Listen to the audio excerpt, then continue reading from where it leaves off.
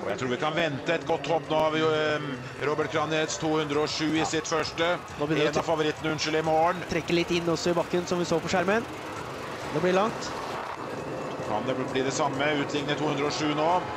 Her har han fortsatt høyde, og den er bra, og den er lang, og det Og det er langt, oppe faller. så faller han fra en bakkerekord, tror jeg. Jeg tror han faller fra en bakkerekord. Kranjets. Gjør han det? Ja, det var langt. 225,5 er den gamle bakkerekorden. 226, ja. Det hadde vært bakkerekord for Kranjets. Ja, det øh, blir spennende å se dette i slow motion, fordi øh, han er en hopper som vanligvis står på lange lengder, men han kommer litt over på høyrebeinet, og da er han ferdig med en gang.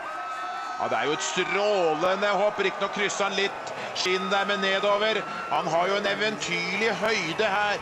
Og vi så jo fort at det måtte gå langt. Her slipper han opp litt, og så kommer han opp på høyrebeinet, og da sliter han. Vi ser også han blir ganske spiss i ankeleddet, så det glir nok ikke så veldig godt når han kommer med en sånn høyde ned der.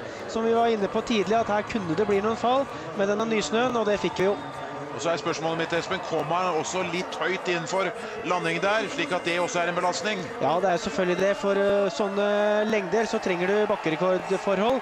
Og det er oppdrift helt nederst, og det er ikke så mye av. Sånn at uh, farten var nok kanskje litt stor, men du verden, dette er jo en herlig følelse sannsynligvis. Og det første fallet denne, denne helgen i, i Oberstdorf. Og mange har snakka om det at uh, hoppsporten skal være spektakulær, og noen har sagt at de må være forsiktige med å hoppe langt for at de kan slå seg.